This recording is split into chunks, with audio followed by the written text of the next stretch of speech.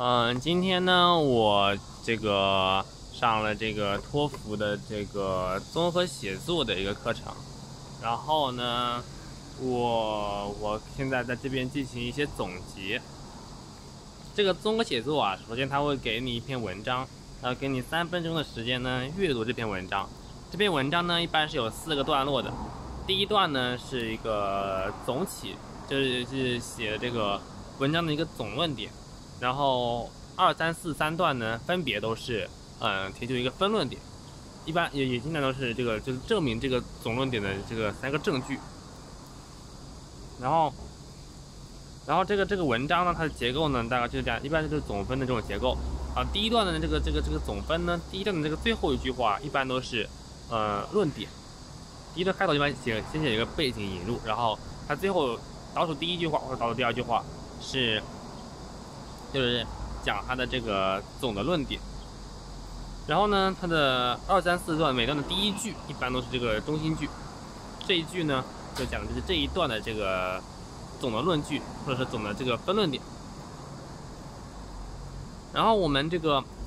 这个这个这个这三分钟之内啊，要首先把这些呃就是总论点和每段分论点都看一遍，然后提取出一些关键词。把关键词呢记在这个这个草稿纸上，再做一个笔记。然后这三分钟的这个这个过程之后呢，他会放一段那个音频，就是这个还有一个教授呢去这个反驳这个观点。这音频的音频呢，它一定是这个反驳那个文章中的观点的，它没有什么知识，全部都是反驳。而这个反驳呢，就是。就是它，它一般也是这种总分结构，也是这种。当然，音频你看不出它段落，它就也是这种总分的结构，一个一个总的这个论点，然后三个一个三个这个论据，然后每个论据每它的总论点肯定是跟原来原来那个那个那个论论点是相反的，并且呢每个论据就是分别对应的对应反对原来的那个论据，就批驳原来的三个论据。所以呢，可以看到这个这个这个教授的这么一个音频啊，就是。就是直接针对他这个这个文章进行反驳的，这两个是就是息息相关的啊，并不是两个独立的这么一个内容。然后呢，这个这个我们听力的时候呢，还要记笔记，同样也是要记住记住它这个它的总论点和一些分论点以及记住一些细节，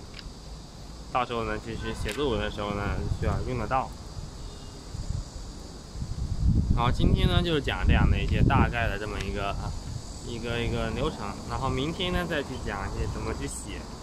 好，再见。